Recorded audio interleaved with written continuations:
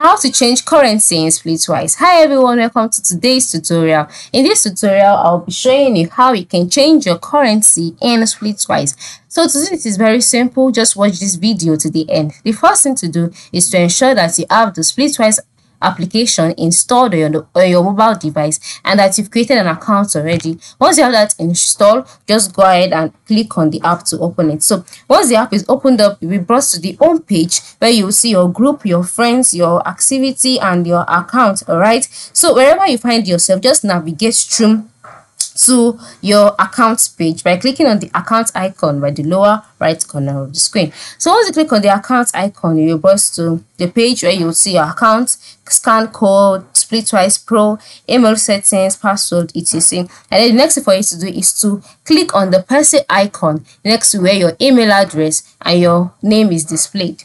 So once you click on the personal icon, you'll be redirected to the account settings. On this page, you would see um, your name, you can edit your name, your email, your phone number, your password, time zone, and then you can see default currency. So to change this currency, the next thing to do is to click on the box where the currency is displayed.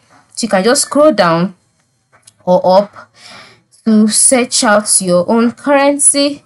And then once you find it, just click on it and then click on save changes. And once you click on save changes, it will load and your currency would be changed automatically. It is that simple, right? So go ahead and change that currency today. Thanks for watching.